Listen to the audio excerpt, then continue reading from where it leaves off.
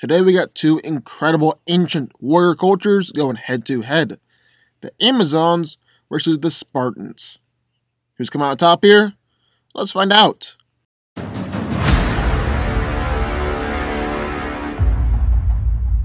Themyscira is an isolated island on Earth created by Zeus that serves as home to the Amazons, and the birthplace of the demigoddess Wonder Woman. It's a city state reminiscent of ancient Greece and is protected by some kind of barrier that conceals the island from the outside world.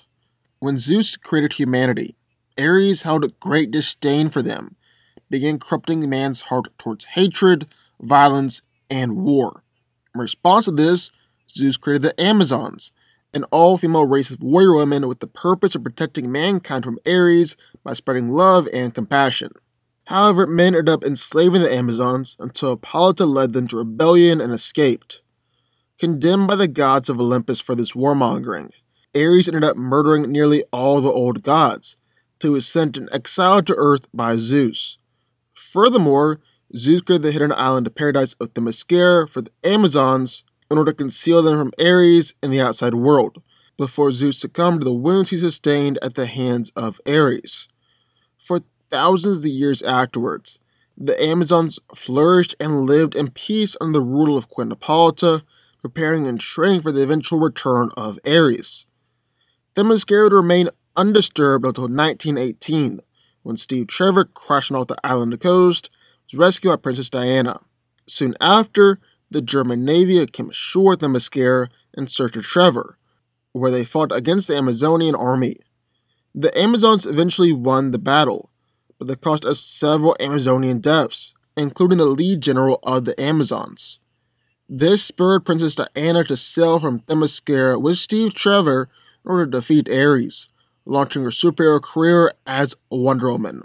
From there, the island of Themyscira went back to relative peace till the battle for Earth, when Steppenwolf managed to retrieve the Mother Box from Themyscira, prompting Queen Hippolyta to warn daughter Wonder Woman. So, as we got one corner, the Amazons. But Entering the ring, the other corner, well, it's the Spartans. The Spartans were fierce, ordered, and rigorously trained warriors from the city state of Sparta in ancient Greece. In August 480 BC, King Leonidas set out to meet Xerxes' army at Thermopylae with a small force of 300 men. He was joined by forces of the Greek city states, who put themselves under his command to form an army between 4,000 and 7,000 strong. He only chose 300 Spartans because if he had taken the entire Spartan army, he needed the permission of the council, who he knew would not agree with him. He therefore chose a small number, saying that they were his personal bodyguard, not representing Sparta in any way.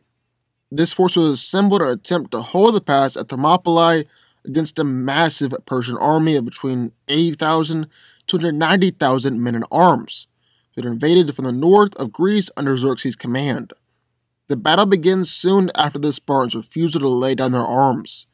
Using the hot gates to their advantage, as well as their superior fighting skills, the Spartans repel wave after wave of the advancing Persian army. During a lull in the battle, Xerxes personally approaches Leonidas to persuade him to surrender, offering him wealth and power in exchange for his allegiance. Leonidas declines and mocks Xerxes for the inferior quality of his fanatical warriors. In response, Xerxes sends in his elite guard, the Immortals, later that night.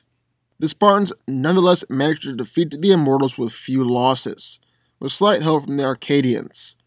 On the second day, Xerxes sends in new waves of armies from Asia and the Persian subject states, including war elephants, to crush the Spartans once and for all, but to no avail. However, on the third day, after being betrayed by one of their own, the Spartans find themselves surrounded on all sides, where Leonidas and the remaining Spartans fight to the last man till they finally succumb to an arrow barrage. So who wins? Well, let's break it down.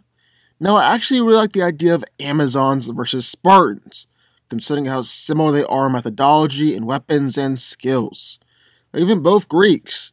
So these two warrior cultures ever came to blows. Who'd come out on top here? Well, today, that's what we're going to find out. All right, getting started, let's hit on a few ground rules. First off, no Wonder Woman. And that's fairly obvious, but Diana won't be in this fight. She could beat the Spartans all by herself. Secondly, we'll be throwing 300 up against 300. Because, I mean, you can't really have the Spartans in a fight and not make their number 300. That's almost sacrilegious. So let's get started. Well, here's the thing about Themyscira and Amazons in the DCEU. And really, it's a larger problem with the DCEU as a whole when using it in a versus video. Their power level is just way too inconsistent and kinda all over the place. Yeah, they're insanely fierce and highly trained warriors, ready to battle against the world of men at any moment. On one hand, World War I German soldiers may take a few of them out during the battle on the beach. Now, we can't overlook the fact that the Amazons did wipe out the soldiers with guns, which is swords and bow and arrows, so that is impressive and shows their skill, but apparently they're just as vulnerable as any of the humans on Earth. And while their army is athletic and clearly very skilled, perfect for speed and mobility, they're not very durable. But then flip the script. During Justice League and Steppenwolf's attack on Themyscira, they did remarkably well, especially given how comparatively poor they did against the German soldiers. They would battle against parademons, who are clearly superhuman. Just two of them were able to hold up that massive gate, and a group of them even managed to momentarily restrain Steppenwolf. However, there's also the question of how hard Steppenwolf was actually trying throughout that fight, as he was clearly enjoying himself, even encouraged Hippolyta to run so that he could chase her. But here's what we do know. The Amazons are at least in peak physical condition, if not superhuman strength. They are able to momentarily restrain Steppenwolf and hold him back from getting the Mother Box. But this doesn't put them on par of Aquaman or Wonder Woman, obviously. At best, it puts them on par of parademons and close to the likes of Batman. But then some of them are definitely superhumanly strong. Being able to shatter those massive wooden pillars with one swing from a hammer, then two of them keeping that massive stone gate open. But on the other hand, they're definitely not superhumanly durable, as parademons were killing them, Steppenwolf was casually taking them out, even one bullet from World War gun was enough to bring them down. And they are very agile and mobile fighters, flipping all around and jumping over opponents. They're a lot better at this than the Spartans.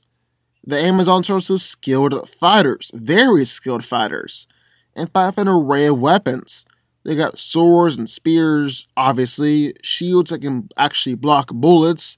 They fight on horseback, and unlike the Spartans, the Amazons fight with bow and arrows. Spartans believed that bow and arrows were cowards' weapons because they killed from a range, so they didn't use them. Amazons have no such qualms about using them, as their edge in their corner. But Spartans have advantages in this fight too. For starters, say what you will about the Amazons and their physicality, Spartans are in great shape as well. They were to push back or overpower the Persians, showing that all of them are physically superior than the average man. At least some of them would have fight against that giant oaf. It was very clearly superhumanly strong. However, the Spartans' greatest asset here is their skill and fighting ability, especially the ability to fight as a group. I mean, they've taken on incredibly bad odds before and fought through them and won, beating countless Persian soldiers and even the Immortals, who were Xerxes' elite guard and the best fighting force in all of Asia. Individual Spartans like Astinos and Stelios took on at least 30 different Persians back to back, and background fighters were taking on two immortals at once. The Spartans also fought with much better battle tactics and formations, always using their shields and fighting as one unit instead of 300 individual men.